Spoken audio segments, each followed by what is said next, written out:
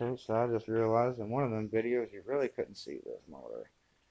Oh, this is a 2.2 liter out of a 2007 Pontiac G5 front wheel drive automatic transmission.